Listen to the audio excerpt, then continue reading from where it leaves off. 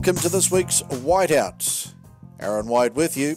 This week I'll take you uh, back to the Corporate Charity Challenge race night at Cambridge Raceway last Thursday. Then I'll preview this Friday's Thai night at Alexandra Park, where I'll be joined by guest selector, Auckland Trotting Club syndication manager Andrew Jamieson, to talk about the 2019 Auckland Trotting Club syndicate and have a look at Andrew's thoughts around mine for this Friday's uh, events. I'll take you through this week's uh, text around. I'll have a chat with my driver to follow for Friday night and Group 1 winning Pukekohe horseman Andre Poutama. Enjoy! We start by looking back to last Thursday's Corporate Charity Challenge race night here on the Whiteout podcast. It was a nine race uh, program there at uh, Cambridge, and the feature pace was race seven, the Viands of Kihikihi Mobile, where Countland Deck drew the inside of the second behind the hot favourite Alta Leone and uh, had a beautiful run subsequently in transit. Shane Butcher getting up the Brogden Horse Transport passing lane and downing the hot favourite in the final few strides for trainer Roger Villiger. It was win 7 at start 59 for the 7-year-old Entire by Bettor's Delight, cutting out the 2200 metres in 243.3. Home in 159.4. 57 628.4. Feature trot was the junior drivers event race 5, the Dunstan Horse Feeds, Il Parata, everybody's black booker from the previous meeting there at Cambridge Raceway, the son of Love You, didn't let down his army of supporters on uh, Thursday night, picking up his seventh success at start 62. Ross Painter, the trainer, Fergus Schumacher doing the uh, driving. Nice time for the mobile 2200, 248.4, rating 23.1, home in 60.1 and 29.8. The uh, first on the card was taken by Comic Book Hero, the amateurs, so that's a, brace of successes now for Comic Book Hero for the Derbies, and the son of Grin from ear to ear in a great vein of form and started the corporate charity challenge race night in very good fashion. The Ohalpo Square Gaiter Jomo back into winning form in the second. The uh, now 10 year old son of Earl, he uh, claimed his sixth career success for trainer driver John Robinson after getting a lovely trip in transit there in the second. Belfast got a well deserved win in the third for Andre Poutama and QMU trainer uh, Lou Driver, the mare by uh, Rock and Roll Heaven, after being a runner up in her prior two outings at Cambridge Raceway, did go one better there on Thursday night. Well, Arden Voyager disgraced himself a week previous at Cambridge when heavily supported.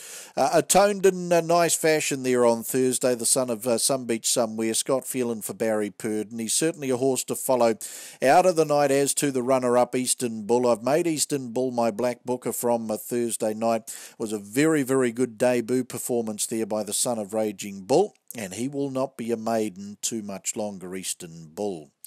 Uh, the sixth was taken by High Point. That was Maurice McKendry's uh, text around runner for a Thursday too, and uh, duly obliged. And uh, she's opened her career uh, nicely. The Bettor's Delight mare for Tuhikaramea trainer uh, Graeme Rogerson. And after two solid performances to open the career, broke her maiden status there on Thursday. Done It Bad proved that uh, his winner a week previous was no fluke as he stormed around runners for Fergus Schumacher. Uh, Craig and Tony Jamieson have got a nice type on their hands by Badlands Hanover as he stomped away for a comprehensive uh, win there on Thursday's Corporate Charity Challenge race night. Uh, my boy Boo, of course, uh, recently converted uh, Square Gaiter, the uh, son of Gotta Go Collect. He'd been performing well at to workouts. He was still getting his head around race nights, but he paid the believers on Thursday with a beautiful James Stormont to drive uh, for trainer Andrew Sharp. And he is uh, certainly another horse to follow from uh, Thursday uh, with that uh, confidence under his belt, my boy Boo. As I mentioned, we will make the Black Booker from Thursday's Corporate Charity Challenge race night, the Eastern Bull. Uh, the next meeting at uh, Cambridge Raceway, early October, Oktoberfest. Further information there, cambridgeraceway.co.nz. On the Whiteout podcast, we now turn our attention to a Friday night's meeting at Alexandra Park. It is Thai Night, the very popular event with the Auckland Trotting Club, and it does reach new heights this year with Thai Airways coming on board and uh, giving away an amazing prize there too. A 1 in 500 chance to win tickets to Thailand from Thai Airways uh, on the night on Friday night. A 10 race program. Uh, the first gets underway at 14 minutes to 6. The doubles will start on races 1, 3, 5, uh, 7 and 9. Three uh, TAB trebles in operation starting on races 1, 4 and 8. Early quaddy starts race 2. The late quaddy race 7. Place 6 will start on race number 5. Looking at the uh, selections uh, for Thai night, I'm joined by Andrew Jamieson, the Auckland Trotting Club uh, syndication manager. Let's run through the selections for Friday on this week's edition of Whiteouts. Well, we welcome into the Whiteout podcast Andrew Jamieson, the Auckland Trotting Club syndication manager. And Andrew, uh, warm welcome to the podcast. Yeah, thanks, Aaron. Happy to be here. All right. Uh, the reason uh, for you being my guest selector uh, this week is we're going to talk the Auckland Trotting Club uh, syndicate. Of course, the 2019 syndicate is open for registration now. The three horses have been purchased. Tell us a wee bit about the three horses uh, that are uh, in the 2019 syndicate. Um, we've got an Alta Cristiano, a half brother to um, Alta Orlando. You know that was going really well a few months ago for Robert Dunn, and he's um, he actually went pretty good last week, a couple of weeks ago.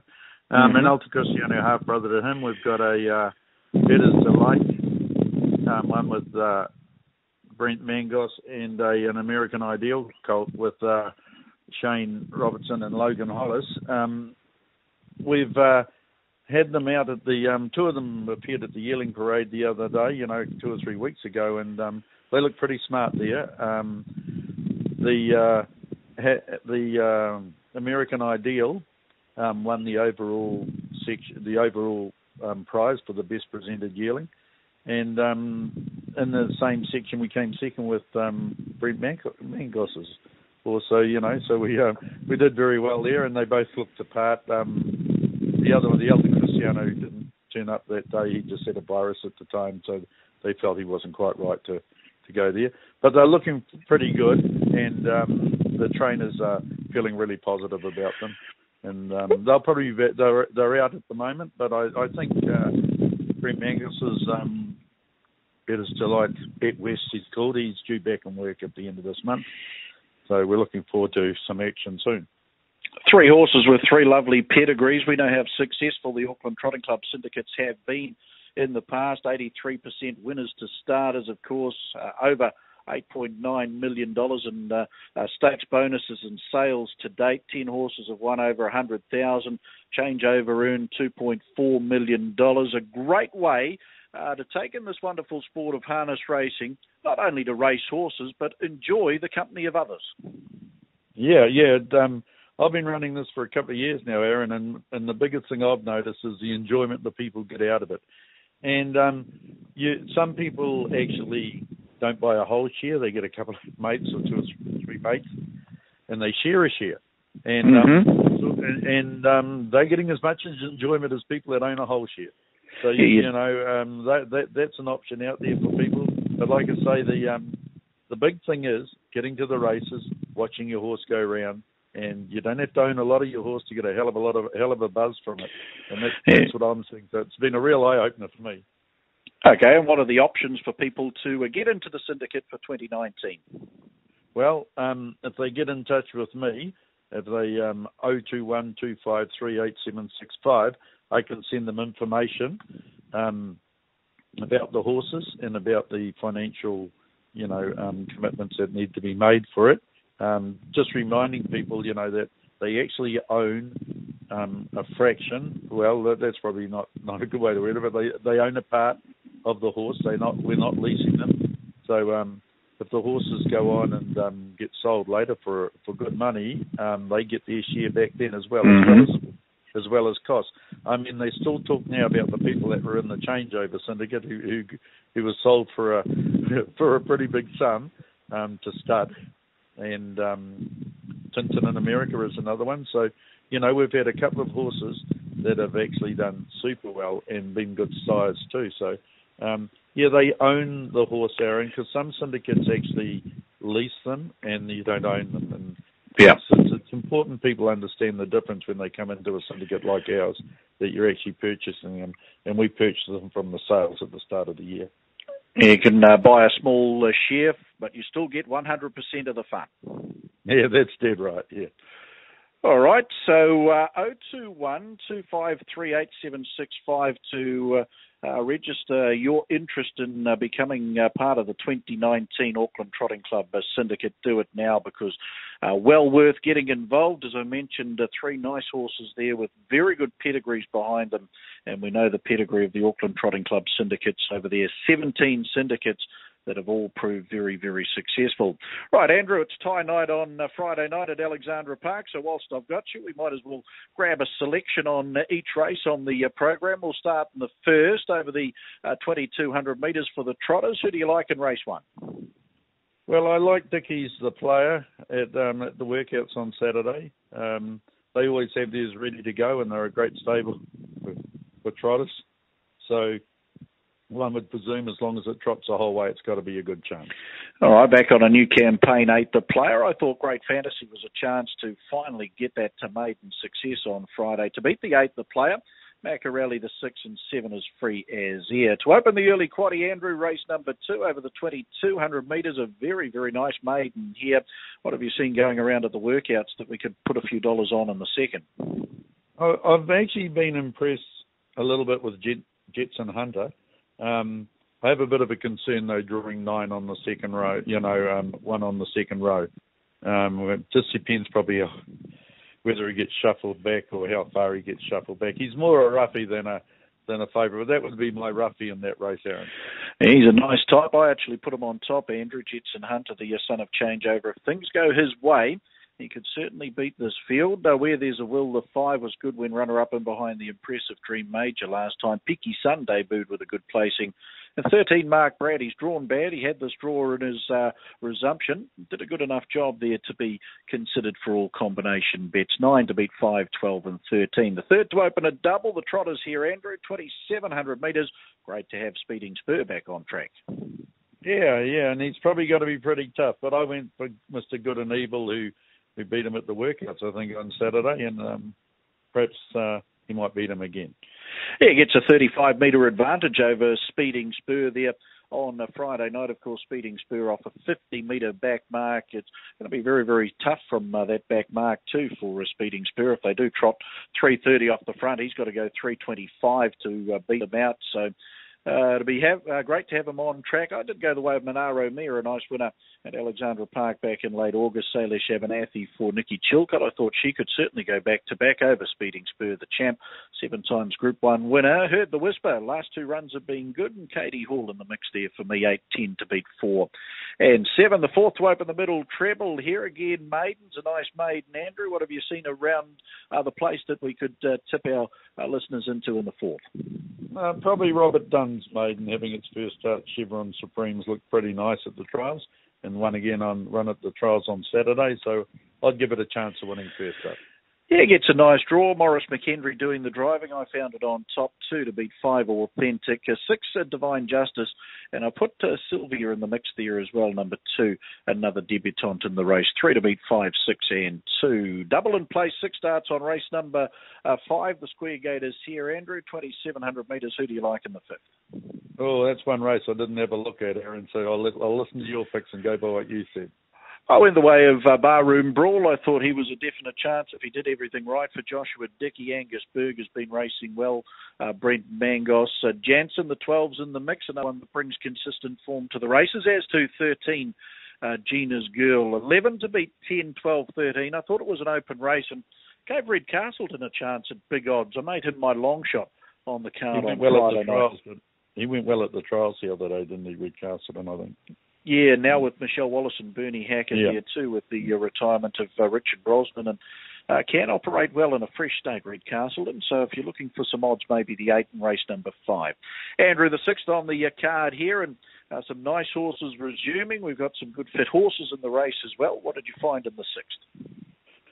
Probably a little bit rough, but I went for Trojan Banner. Like you're saying, uh, um, a lot of these are resuming, and it's just a case of how fit they are or what times they run and things like that. But I gave Trojan Banner a chance of bringing the money. Has been going well at the workouts, hasn't he? Yes, he has. Yeah. Mm, all right. I went to his stablemate uh, Rico Lover. I thought he could be a, a big threat, uh, fresh up the Bettor's Delight. Cold Andre Poutama over Bequero. She's been racing well. The Shadow Play Mia. Uh, Trojan Banner, yep, well in the mix. And Spirit of Anzac comes up with a right draw too. Uh, to be a threat in race number six, four, six, three, and a one. Late quaddy starts race seven here. Uh, uh, Andrew, and uh, who did you find in the seventh for us? Ray Green stable again. I went for Make Way. I thought he was a bit of an underrated horse last year, and he went some good races against some good horses. So um, he's been going all right at the workout. So I give him a chance of winning first up. Yeah, last seen on Jules Day, uh, make way. I did make him my bet of the night, number five in race seven, to beat two English Rose with a nice draw. She's been racing well. To Sir with Love debuted with a very nice win back on the 21st of August.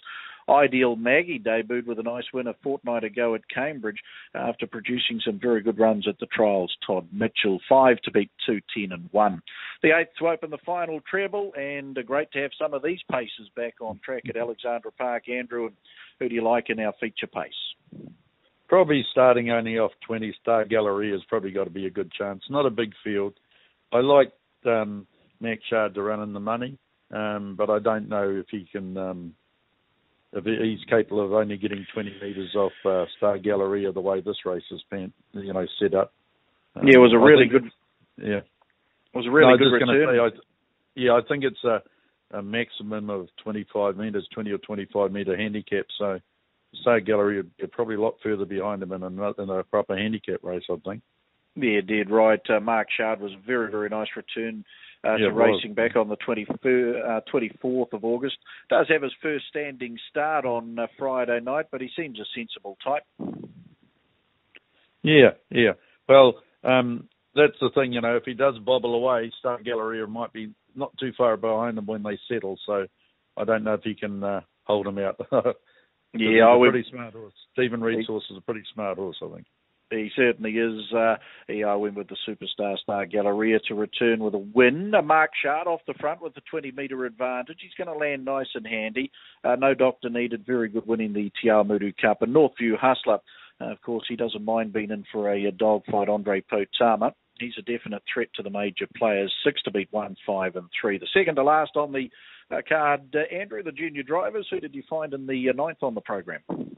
I thought Benson Boys um, was probably he probably lost his way coming around the final bend at Cambridge the other night, and um, when he flattened out, he certainly came quite fast, and probably another 20 or 30 metres, he probably won the race. So um, he, he's won this way around, so I'd give him a good chance of winning the junior drivers race. I think he's probably quite a promising horse of Barry Purdon's.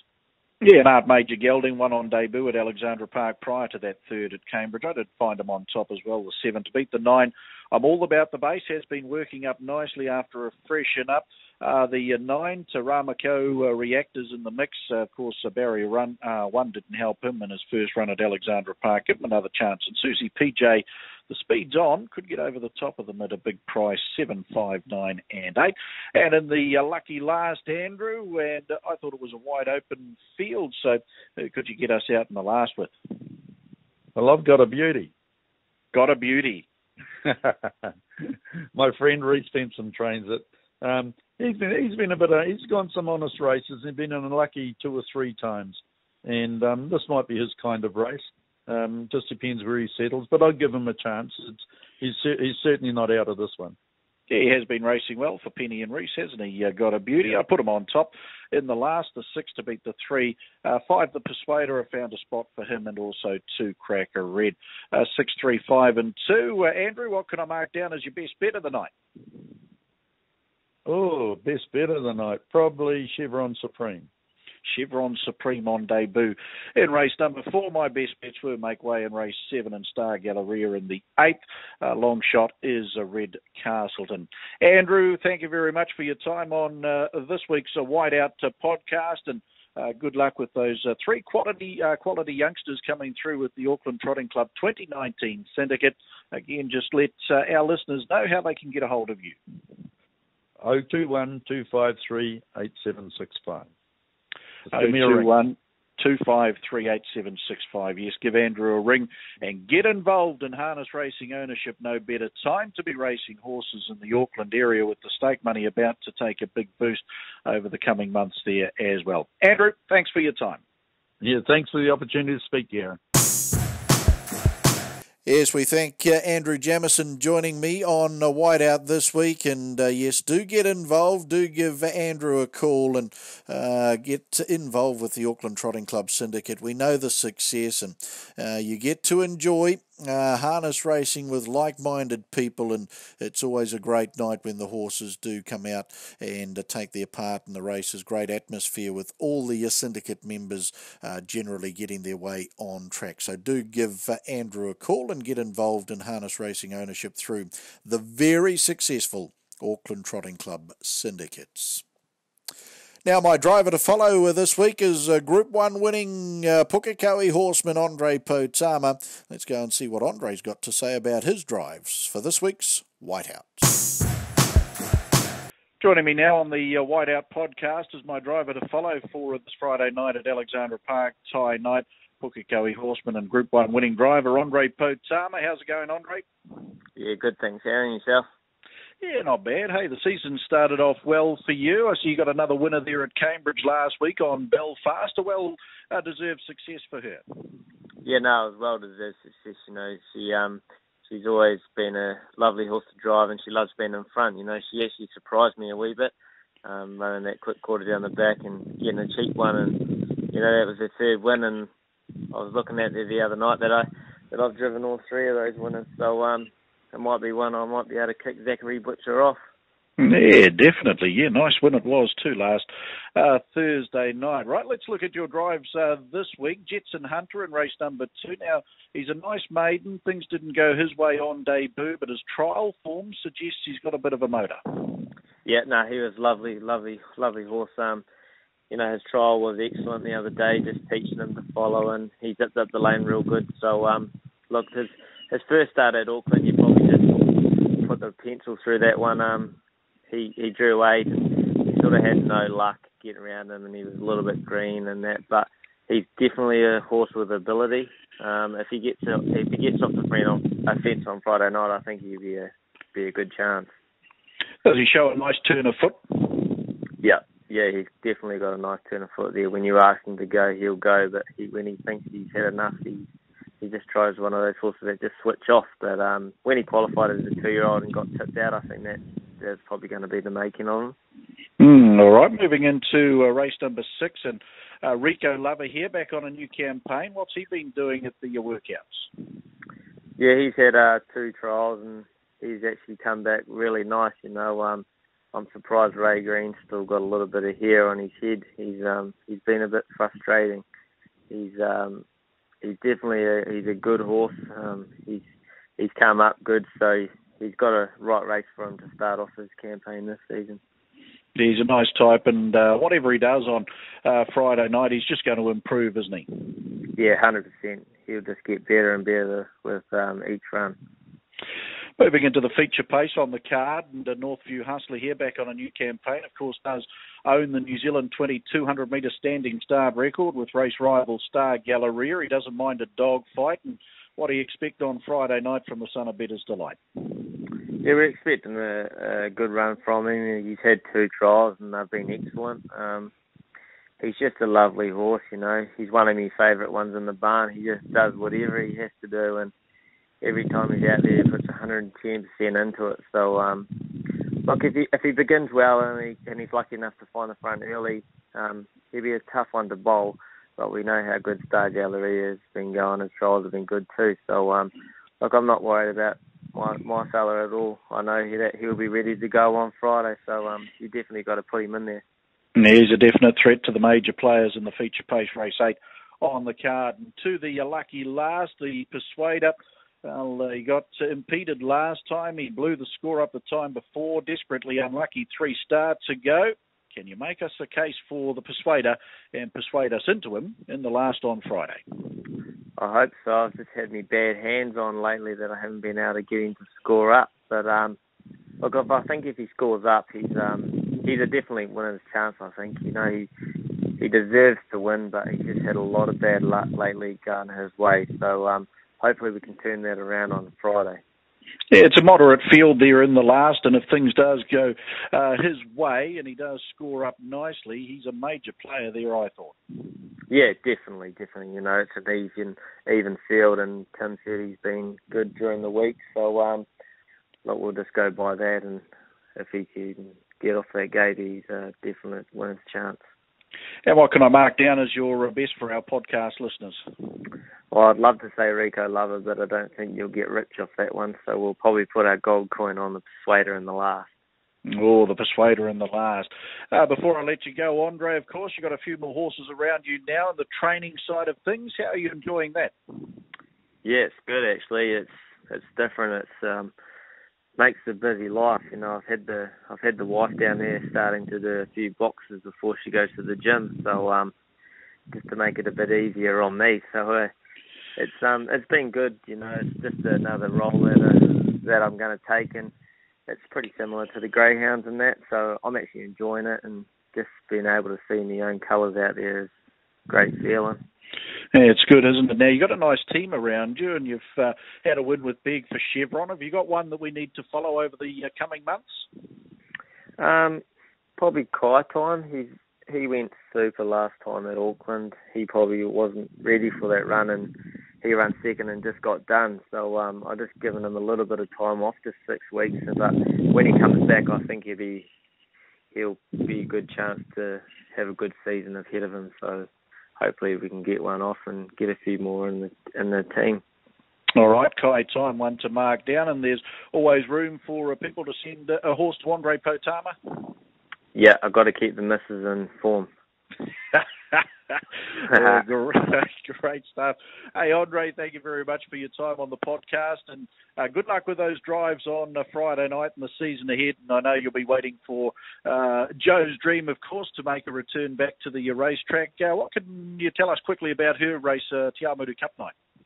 Uh, she she probably picked a little bit of a wobbly, you know. She um she can't if she doesn't step straight away, she just has one of those little female fits.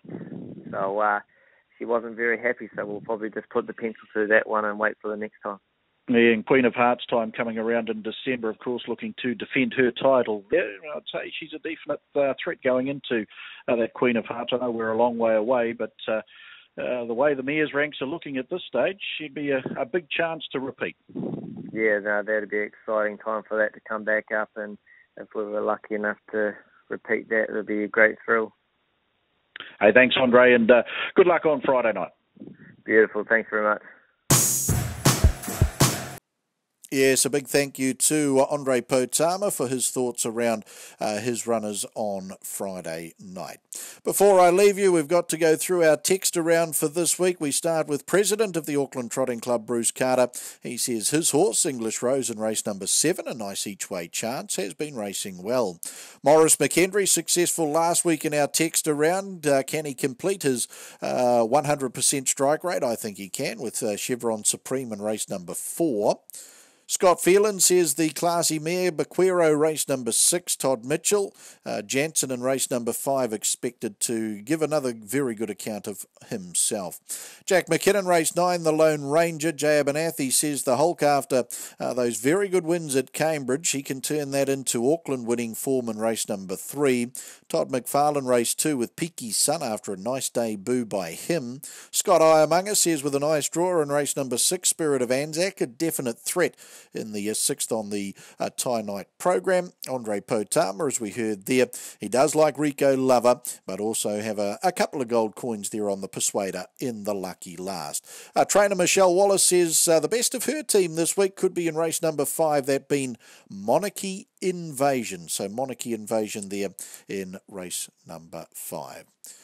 Well, folks, I trust you've enjoyed this week's edition of uh, Whiteouts. Happy punting for this Friday night, Thai night at Alexandra Park. I'll catch you back next week. Until then, it's Aaron White. Out.